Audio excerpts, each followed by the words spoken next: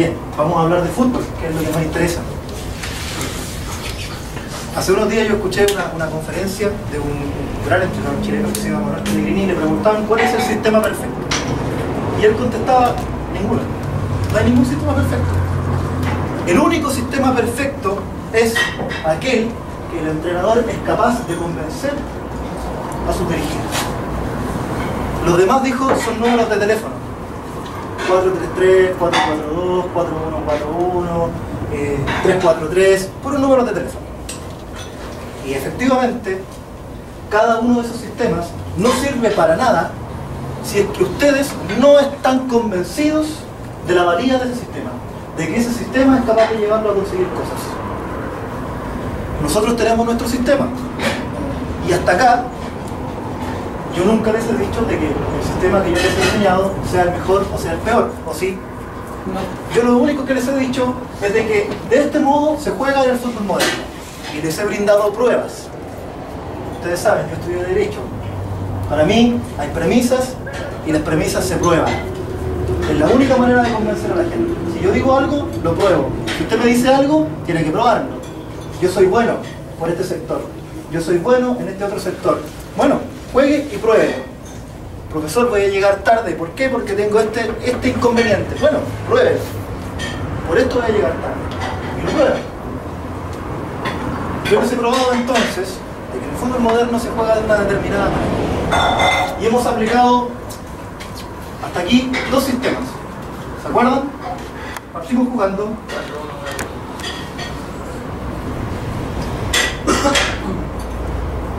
Cuatro, uno, cuatro. La explicación pedagógica de que yo haya partido por este sistema es de que en principio, en términos teóricos, estos dos jugadores tienen demasiada sobrecarga. Sobrecarga quiere decir que tienen que cumplir demasiadas funciones. Funciones de ataque y funciones de defensa. Como esos dos jugadores tienen demasiada sobrecarga para impedir que se efectúe un quiebre en esa línea por parte de los rivales, un entrenador de fútbol, un muchacho muy inteligente, muy joven, que ustedes conocen, que fue entrenador del Barcelona, que dijo, bueno, para evitar ese quiebre de esos dos jugadores, pongámosle uno atrás de él. Y sacó un delantero y lo puso. Ese jugador de Barcelona se llama Sergio Busquets. Él lo puso, él lo inventó. No existía ese jugador antes de él. Eso se llama innovación. ¿Para qué? Para impedir que esos dos jugadores fueran quebrados o fueran sobrepasados. Por el medio campo, por ejemplo, sea capaz de poner tres o cuatro jugadores al mismo tiempo en ese sector pedagógicamente hablando, es más fácil insertar este sistema que hemos estado, que el que hemos estado usando hasta ahora. ¿Qué es lo que hemos hecho? Hemos eliminado a este jugador, pero solo ahora, porque solamente en este momento los dos jugadores del centro ya saben conscientemente de que hay un espacio vacío acá. ¿Cierto Jaime? ¿Cierto Lula? ¿Cierto Ariel? ¿Dónde está Ariel? ¿cierto? Ya saben conscientemente de que este es un punto deficitario, un punto débil.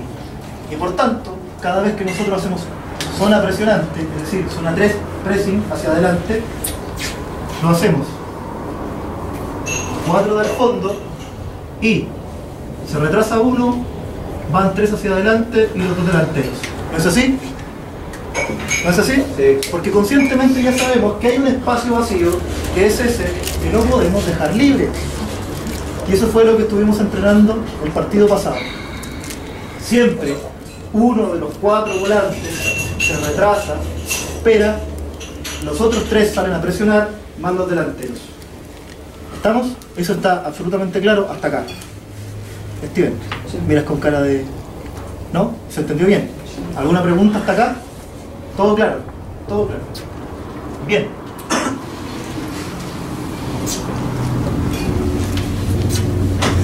Esto es ahora no 4141, sino 442. Y sabemos que nuestro 442 no es tan ortodoxo, es decir, no se aplica tan teóricamente, sino que sabemos que hay uno de los jugadores que está un poco más retrasado que el primer delantero, ¿cierto? Ese jugador tiene la función de unirse justamente con los dos mediocampistas centrales para justamente alimentar ese, o bien afectar a la subida de los volantes externos. Ahora, un detalle. Esto son puros conceptos sabidos, conocidos, no hay nada nuevo acá. Un detalle. Cuando ocurre el desdoblamiento, es decir, cuando un lateral avanza, un volante, perdón, avanza hasta acá, o el otro, o el otro volante avanza hasta acá, ojo, nos queda aquí de inmediato un gran espacio vacío. ¿Cierto? Nos quedaría un gran espacio vacío. Supongamos que Molina subió, Joan subió, y nos quedó aquí un gran espacio vacío. Lo correcto, y esto se hace a veces conscientemente, a veces inconscientemente, lo correcto es que el lateral respectivo cubra el espacio, adelantando su posición. Nada más que eso. Cubriendo la posición.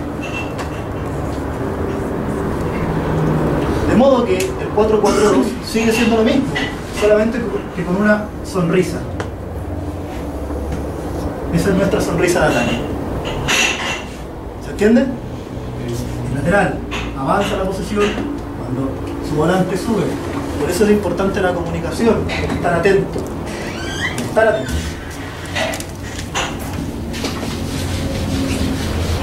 Ninguna pregunta hasta acá. Ahora, hay otro, otra situación importante. Otra situación importante. Están los cuatro volantes. Y supongamos que opera que el Bastián, uno de nuestros laterales, desdobla. Desdobla. Lo correcto es que en esta situación que tenemos un central, dos central y el otro lateral, es que este central se mueva hasta esta, hasta esta postura y tome la posición que correspondería al lateral. Eso es lo correcto. Ustedes lo hacen, veces consciente, pero yo espero que lo hagan conscientemente. Los laterales, ¿dónde están? Ahí están. Atento, atento. Que cuando suman ustedes, siempre el que, debería, el que debiese cubrir el espacio son los centrales, que se tienen que mover. Mover. Ahora, el último detalle, y aquí me callo y espero preguntas, o si no terminamos directamente. El último detalle es que, en teoría, cuando tenemos, esto es la última línea, dos centrales y los dos laterales. En teoría, cuando un lateral sube y desdobla con el volante, ese es el volante y el lateral, desdoblados, ¿cierto? Lo que correspondería, en teoría, es que el otro lateral no suba. No suba. El partido pasado, y está en las grabaciones, muchas veces subían los dos juntos, pero es porque el partido lo permitía, porque estaba el, rival en inferioridad de condiciones. Si suponemos que el rival está en igualdad de condiciones y tiene fuerzas tácticas parecidas a las de nosotros, lo que corresponde en teoría es que el otro lateral se quede. Y por ello es fundamental de que ustedes dos estén mirando. Se tienen que estar mirando. El Bastián subió, Magaña dijo, ah, yo no subo. Subió el Magaña, el Bastián dijo, no subo. La comunicación, me reitero, es siempre colectiva. Yo les dije alguna vez, el equipo de fútbol no es la sumatoria de 11 jugadores. No es el arquero más el central, más el otro central, más los dos laterales. No. El equipo de fútbol es más que la sumatoria de 11 jugadores cuando colectiviza. Se transforma en una inteligencia colectiva, en una forma de pensar colectiva. Y por lo mismo, cada vez que ustedes vean los movimientos de sus compañeros, tienen que de inmediato pensar en cuál es el movimiento que les corresponde a ustedes. O sea, en este caso, si Magaña vio que su compañero lateral del otro lado de la cancha subió, Magaña de inmediato dice, ah, no me corresponde a mí entonces subir, sino acoplarme a esta línea de tres, entre comillas, que queda cuando uno desdobla. Y a la inversa, si se fue Magaña, Bastián de inmediato dice, bueno, el movimiento que me corresponde a mí entonces, como miembro del equipo, es acoplarme nuevamente a esta línea de tres. Y eso es justamente lo que justifica de que, en este caso, este central tomen el lugar del lateral que se fue. Y así nunca caemos en el desequilibrio. Nunca caemos en el desequilibrio. Lo peor o el peor pecado que puede cometer un equipo en términos tácticos es caer en desequilibrio. Desequilibrio significa tener menos jugadores de lo que corresponde para defender una determinada zona de la cancha. Por ejemplo, en un saque de meta del equipo rival, un saque de meta, si nosotros en la línea de volantes planteamos solamente tres de los cuatro que corresponden, se produce un desequilibrio. Se produce un desequilibrio. Y el desequilibrio puede ser aprovechado por el rival, tomándonos el centro del campo. Ya les dije alguna vez que el centro del campo es vital para los deportes colectivos como el fútbol. Y yo les dije alguna vez que el fútbol esto no lo creó él, se lo copió a otros deportes y específicamente otras disciplinas como el ajedrez. El centro del campo es fundamental. Ahora, último. ¿El equipo rival cómo juega? ¿Alguien se acuerda? ¿Alguien lo vio? Contra el fondo. defensa. El equipo rival juega con tres defensas. Tres centrales. Ahora, teóricamente, la línea de tres es siempre línea de cinco. Cualquiera que haya estudiado un manual, por más chiquitito que sea, y por más mula que sea el manual, el manual debiese decir la línea de tres en posición defensiva es siempre línea de cinco. ¿Por qué? Porque los laterales, que son carrileros, deben bajar. Ustedes observen la selección de Chile, alguna vez vamos a, vamos a ver un video, yo tengo, tengo el partido de Chile contra España, uno de los partidos más lindos que he visto de Chile, y más emocionantes también, porque le ganamos al campeón del mundo lo dejamos afuera. Eh, ustedes pueden observar cómo Chile jugaba con una línea de tres, ¿cierto? Medel, Silva, Jara, y eh, juega con dos carrileros, ¿cierto? Que son Mena e Isla. Mena e Isla. E Isla. Bueno, efectivamente son tres centrales. Son tres centrales. Pero lo que requiere este juego es que en posición defensiva los carrileros tienen que acoplarse. Y en definitiva siempre una línea de 5. Bueno, ustedes comprenderán de que hacer esto en un partido es bien difícil. Es bien difícil. ¿Por qué? Porque exige que en el carril siempre hay uno solo. Siempre hay uno solo. Los otros están por el medio, son dos pivotes. Dos pivotes defensivos. Y acá pueden tener tres, en fin. No es importante esto, pero la banda siempre está ocupada por uno solo. En cambio, en las posturas que están basadas en líneas de cuatro, siempre hay dos por la banda. Un volante y un lateral. Si le agregamos uno más, este es dueño de banda, tanto como el volante, que se acopla a la línea de cuatro. Desde ese punto de vista yo considero que las líneas de 4 son mejores que las líneas de 3. Nosotros tenemos que aprovechar entonces que el equipo rival no sabe aplicar bien la línea de tres centrales y jugar los balones. Profe, ellos salían jugando, ¿no? No, No, salían a la pelota. No mucho, no Salían mucho, a pelotazo. no mucho, pelotazo. Nosotros tenemos que aprovechar esta, esta deficiencia porque los laterales no van a llegar acá. Los laterales no van a llegar acá. No van a llegar acá. Aprovechar esta deficiencia y al recuperar el balón en zona 2 o en zona 1, de inmediato practicar esta jugada. Practicar esa jugada. Cambio de. Molina Iván. Y esa ya la conocemos. Y van a tener un espacio, muchachos. Van a tener un espacio que van a poder hacer estragos. Los volantes, atentos. Los volantes externos, atentos a esa, a esa jugada. Y los laterales también, atentos para desdoblar. En este caso, ya no cabría hablar de desdoble, porque cuando uno dice desdoblar, dice aplicar dos jugadores donde defiende solo uno. Desdoblar significa que ahí defiende uno Llegó el volante y llegó el lateral. Eso es desdoblar, hacer 1-2, ¿cierto? Teóricamente uno debería ganar esa batalla, ¿cierto? En este caso ni siquiera estar este. No está, porque no llega. O no debería llegar, según la observación que vimos del partido pasado. Entonces sería 2 contra 0. ¿Cuál es el pero? ¿Cuál es el pero de todo esto?